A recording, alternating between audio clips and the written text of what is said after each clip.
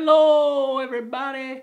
Um, so recently I made a variety show of a lot of comedic sketches that um, bit out there I might say.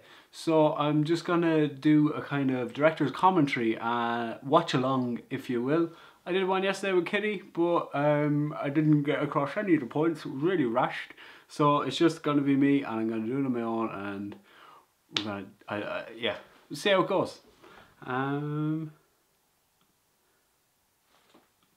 action.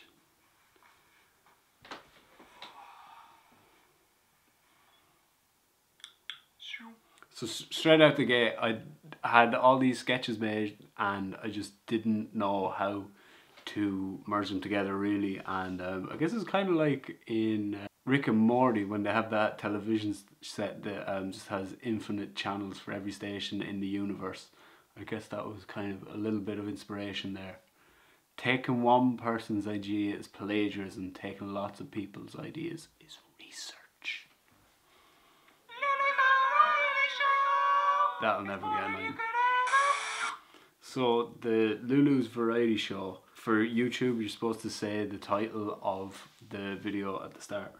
So that was that. The stories you are about to hear are true. Only the names have been changed to protect the innocent. That was was trying to be clever, have that at the start because all the stories in the show are actually stories that I've picked up along the way and heard from friends. Um, so that was that kind of a disclaimer that these are all true stories. I've just changed the names to protect innocent. I don't know if you can call them innocent. Uh, that came out. I was pretty happy with that. The split screen. I'm actually playing both parts right there. I know, right? The power of filmmaking. Like this, Mike. We are going to get a nice big juicy slice of chocolate cake out of it. Your hair is so shiny like fish. Thanks. This is one of the oldest sketches I had. I just remember when I was a kid that all the uh, ads seemed to be from Europe and they were badly dubbed and they're all like Aryan race, blonde hair, blue eyes, amazingly white teeth. If we dubbed it wrong or if the compliment didn't really seem to be a compliment, their ads would always have like a little bit of a story arc, like it'd be two girls in the gym shower locker room or something and one be like, Oh my god, you, your skin looks amazing and then she'd be like, Yeah, this is what I use and then the other one would use it and she'd get the job. So I just thought if we could then they have an arm wrestle and they beat her in an arm wrestle, but then just keep going the next step. And that was actually Maggie. I only realised when it came to the final stages of editing that was Maggie. So this news segment, uh, this was one of the sketches where just have like a couple of jokes stacked on top of each other, like straight out the gate. Me just looking like that is a bit um, bit arresting image. Amazing, amazing mustache. Then news being fascist propaganda. Um, the joke, the audible joke, counterfeit butt plugs. How are they getting them into the country? And that image of the third tunnels was when Kitty tried to make uh, vegan Nutella. Now, well, due to technical difficulties, our weather software isn't working, so we're going to play this tape from 1974 of a similar weather forecast to today. Oh yeah, and the thirtieth of February. In case nobody got that one. 1974 similar weather forecast to today.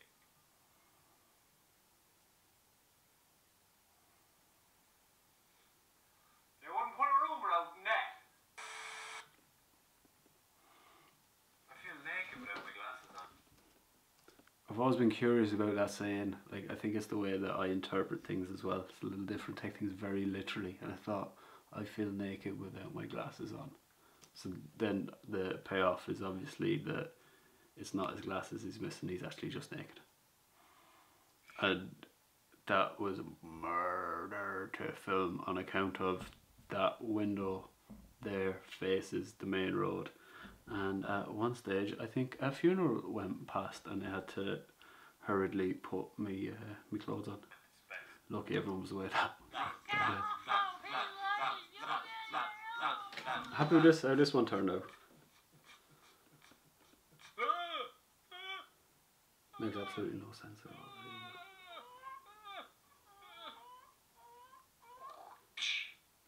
Beware of identity theft. And now, another episode of Things to Be Thankful For. Episode 42. Be thankful for the white noise drop.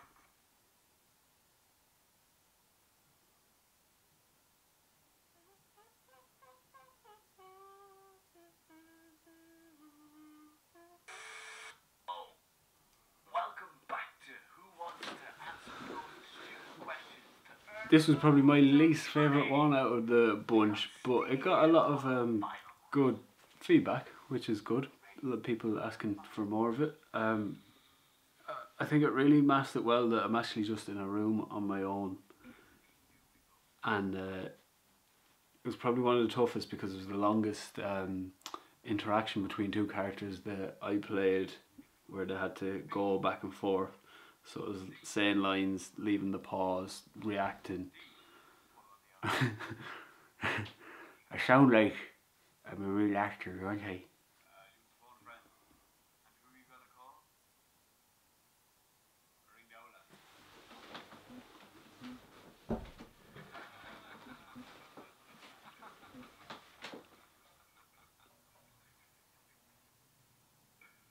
Okay, Steve. Ring your father, and you'll have 30 seconds to ask him the question and get an answer from him. With the whole COVID going on, it kind of forced my hand, but I think it worked in the better. Um, that I played all the characters, and then that, because my original plan was to hire people to act in it, um, because actors are always better than my capabilities of being an actor. But then, after I, I realized I wouldn't be able to get actors, I had to fill all the roles. I just thought, how funny could I do it by filling all the roles? By do as in, as the director, the writer, the actor, um, but then right, I'll do the music. I'll do all the sounds just by humming them and making the sound effects myself. And I think it worked out better in the end. Internet sensation fabric. That was an ex actually came up with that idea for a TV show that um, if anyone from RT is looking, you could definitely buy that from me for a nominal fee.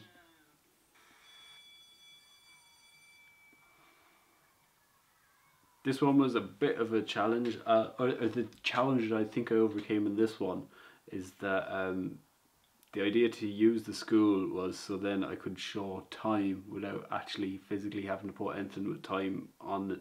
So now you know with the school bell going off, it's midweek and it's in the morning.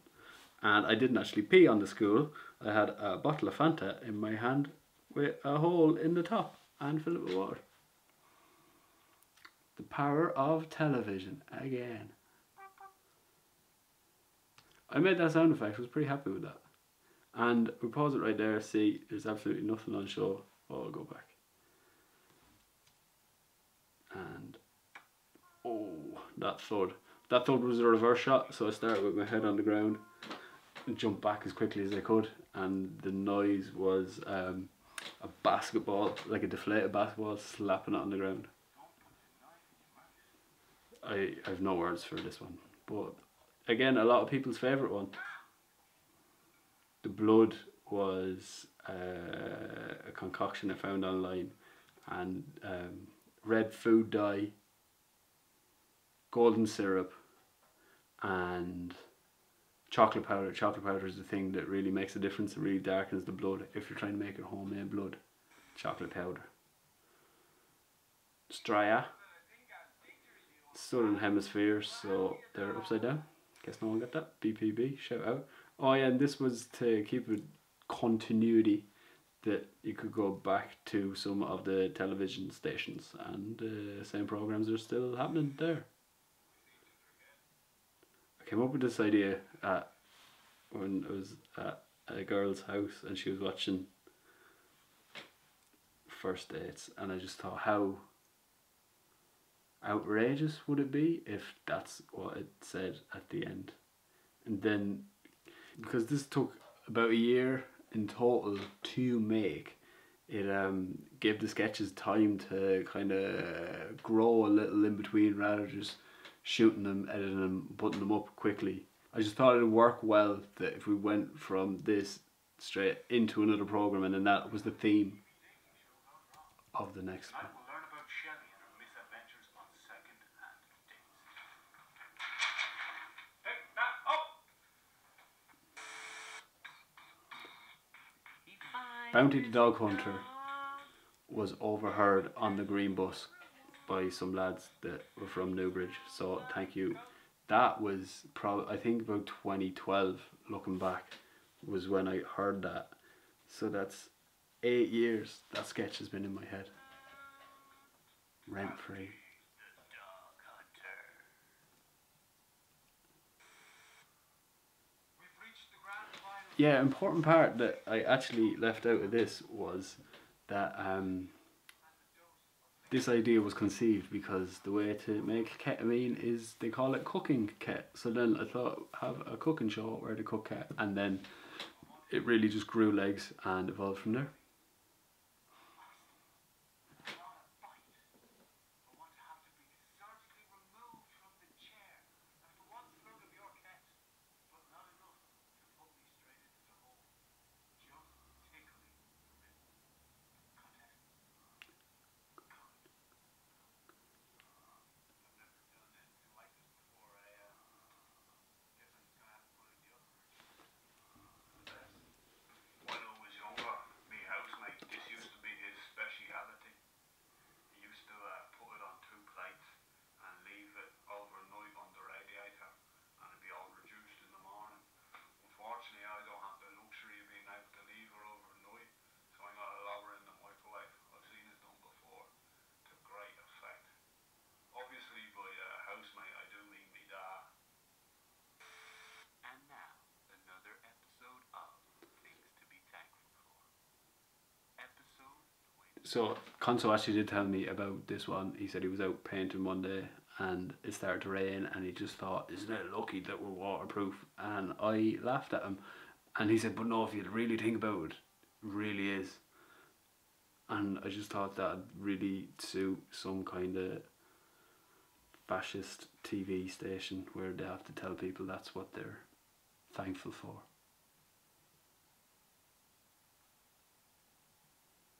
About fascism in. We've all been there. The morning after, the night before.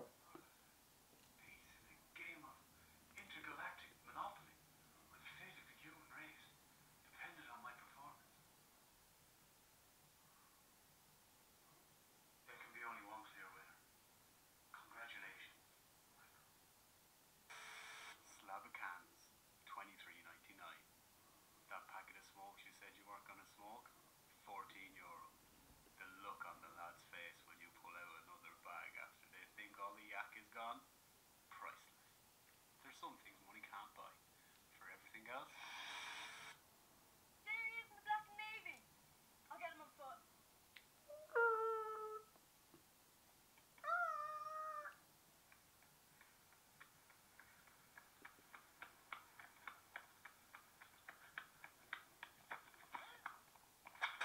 Tiger Riley. Fashion.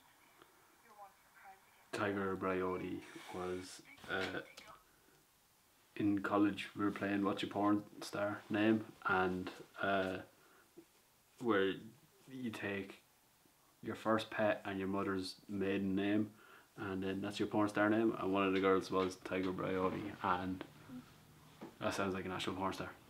Uh, so that's where that name came from. This one is very, very.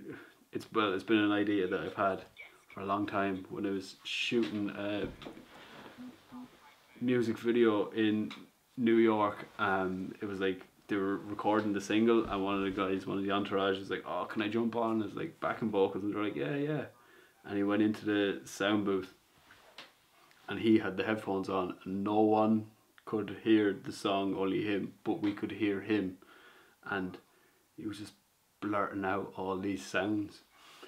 So I found it hilarious, but everyone else was like, yeah, really into it. And uh, I went to work the next day and I was telling Maddie about it, and he's like, hip hop hype man. That's what I do. And then he starts blurting out all these sounds. So my original idea for this was to have a, a dinner party, but then when this kind of evolved into reality TV shows, um, Come down With Me just came to me. Like I couldn't have had a dinner party or a dinner party just with uh, COVID restrictions. So I really forced my hand, but in a good way. Also, what I'm wearing, that's a Don't Flop t-shirt. Because when I work for Don't Flop, and I got that flannel in New York, or uh, filming a graffiti thing on a rooftop. So it's all legit. The dog chain is a dog chain though. And is is the gun real? No, no. No. that was from a, a BMMY. Beast mode that uh, I used to wear for. There's a fella just kept shouting, keep swimming.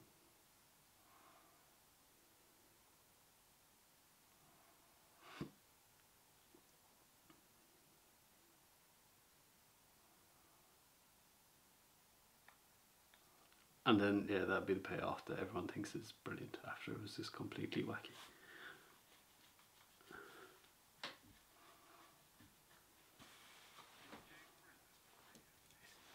Timeless classics such as She wouldn't go to bed unless she had her wellies on, and when she had her wellies on, she wouldn't go to bed at all. And of course, she. This is my housemate in New York just used, With a hole in her yeah, I used to sing these songs. I just thought they were, just had to make it. I've been a midnight for many a year. And I spent all my money on minge diving gear. And goggles and snow. Outtakes. I wasn't sure how to end it, so when I was going through all the footage, I had all these just fun little bits and pieces that had didn't have much relevance. So I thought, yeah, that'd be a great way to cap it all off. Because yeah, I couldn't think of another way. I was gonna maybe cut back to the guy waking up. Anyway, this shot is from it's Kitty's Kitty's homage to uh, Boy. Check out my mean as Michael Jackson does moves. He did them at the Emmys. She's not really that bad at moonwalk. And I also wanted to show that most of it was just me on my own with a camera and a bed sheet. So you can do it too. Be a good boy. That's Kitty's just signature pose. Anytime there's a at. So it took me a few attempts to get the paper phone just right. And then that's my daddy. Kitty was hungover for most of these. That's one of my favourite shots. What else? Well, finish your food. As I got on, I found that I improved as uh, as an actor definitely. That's me trying to make myself fall over. You can't make yourself fall over, as Kitty let me know. And my two favourite things are messing with Kitty and annoying Kitty. And they kind of battle for number one spot continually. And I get a right over so easily. Right, come on. Sienna's gonna be a foreign. I'm gonna dub it over. I'm gonna dub it over in English. So, you can say something you're not actually saying while your hair is so shiny. I want to clarify that the sausage earlier was a vegan sausage and the milk from the coconuts was a protein milk. Vegan pea milk, maybe?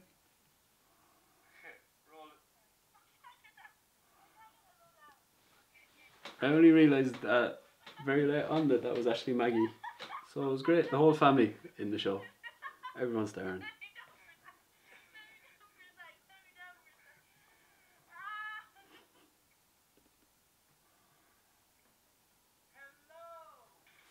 Slippers. That was when the neighbours going past the front.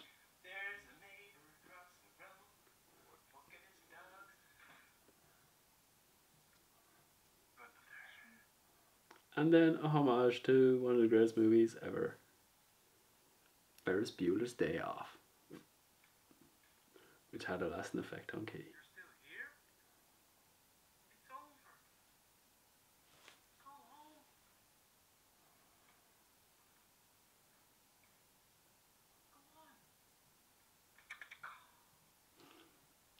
Go on. So if you enjoyed Lulu's Variety Show, um, there's a new series coming soon. I have probably about two thirds of the sketches shot. I haven't started editing. So uh, stay tuned. I'm gonna vlog the process of making that. Um, and thanks for coming. Give us a like. Leave a comment down below what you thought of this. If you have any other questions about the production process, please comment down below, and uh, I'll try and or and I'll get around to them. Um, and as always, thanks for coming.